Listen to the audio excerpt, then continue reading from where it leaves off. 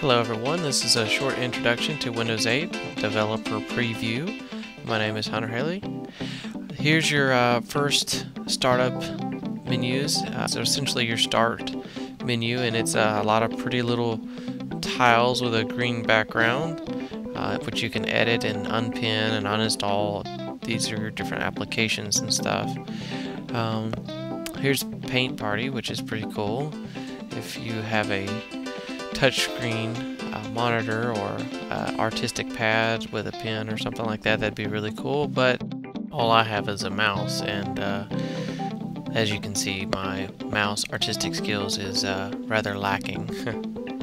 and I will say that uh, you still have your regular paint program. This is just in addition to. And uh, I don't know how to exit programs other than just to hit the Windows key, which brings you back to the tile menu but you do have your desktop. Uh, many people thought that the desktop was going away, but yes, you have your desktop where you can do things and view videos or whatever you want to do just like you did in Windows 7, uh, except the start menu's different as you can tell.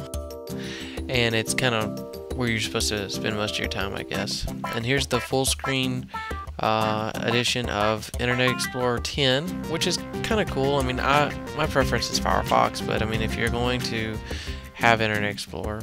But, you know, it's pretty cool. Right clicking, as you can see, that's what brings up your options uh, in most of these applications that are launched from the start menu that are full screen.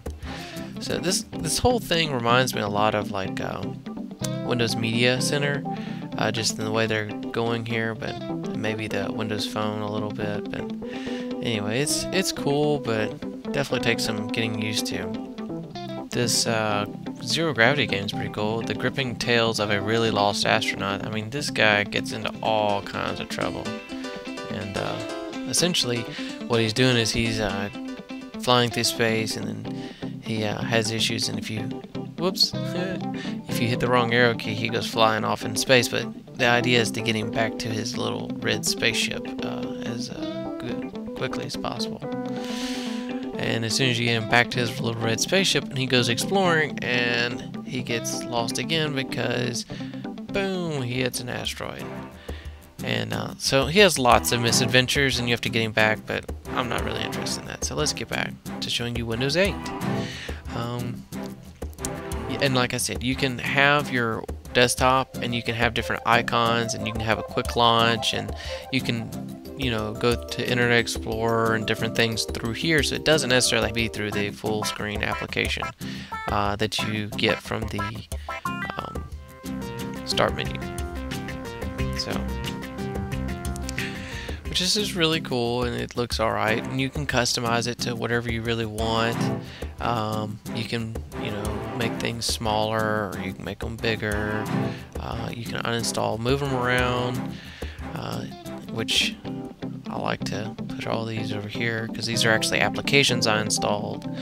And um, you can move everything around. And this is kind of cool. It's kind of like the, the the paint application before except that it has like a notepad type deal with lines and stuff. So supposedly you can take better notes especially like I said if you have the touchscreen monitor or an art pad or something um, but I just have a mouse so not overly awesome and right now you have tiles for your applications and there's custom made tiles for uh, specific applications that were made for Windows 8 and uh, once the, the store, uh, Windows 8 store is up and running, you'll be able to access a lot more really cool applications.